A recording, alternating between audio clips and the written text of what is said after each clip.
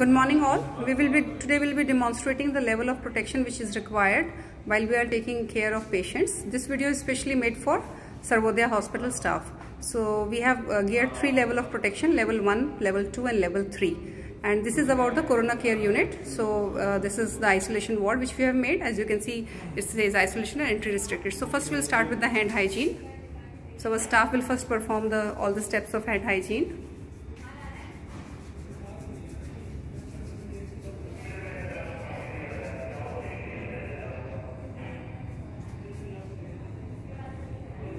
So then we enter inside.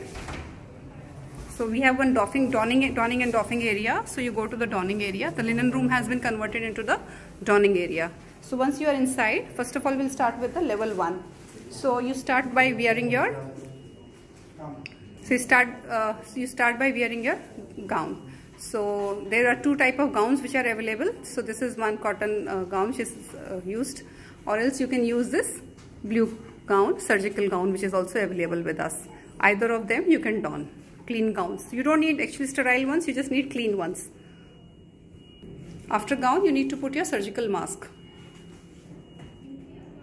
So this is level 1. This level 1 is basically when you are coming for your rounds and you are taking your in the clinical area seeing the patients.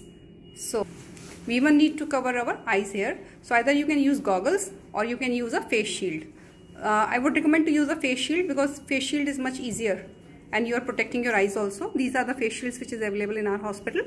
So you can use this face shield.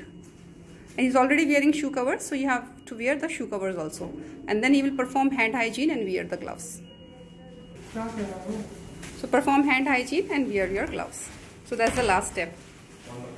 So this is the final uh, protection level 1 so now we'll move ahead onto the level 2 protection. Level 2 protection is uh, required when you are working in the intensive care unit or if you are in the quarantine place when you are at the flu corner. So moving ahead. So starting with level 2 first you have to don a impervious layer on top of the gown. This is the third layer which has to be discarded after the use.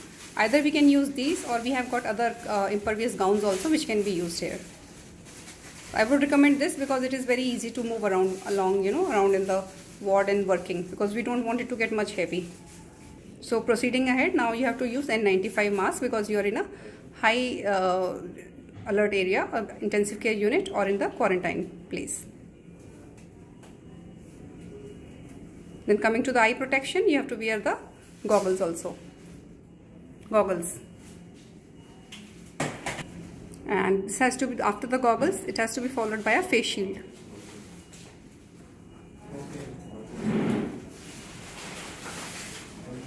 If you want you can use a surgical cap. Otherwise if you're comfortable with it it's not like must for it. And then you have to do the hand hygiene followed by donning of gloves. So now you are ready for level 2 level 2 is for intensive care unit and when you are sitting in the flu corner quarantining the patients so now we'll move ahead with the level 3. So level 3 is the utmost protection and it is the time when you are doing aerosol generating procedures. So he will be augmenting this with one uh, impervious gown. So level 3 after you have donned the plastic sheet and you have donned the full sleeve gown and the shoe covers you will start wearing the cap. So in this you have to take care the skin is not visible. After On top of this you will use the balaclava or the visor as it is known as. So this we have made in house. So the basic purpose is your skin should not be visible. After the balaclava or the visor, you have to put the N95 mask and the goggles, both of them. Now level 3 has to be augmented with a third layer of an impervious gown. So make sure this is an impervious gown. So we have two or three type variety available with us. So as and when the need rises, we will be going to different kinds because one single particular kind is not available. So we have like mixed but we have an impervious gown and this top layer has to be discarded in the end. So after the gown you have to wear the face shield.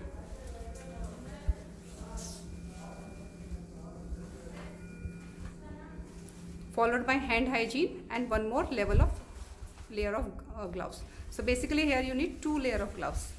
So this is level 3. Level 3 is only required when you are going in like uh, aerosol generating procedures like intubation, bronchoscopy or CPR so this is the uh, final look so this is the final look of level 3 So now we have seen all the three levels, level 1, level 2 and level 3. I hope this is now the, it is clear to all of us which has to be what you have to don at what time. Thank you.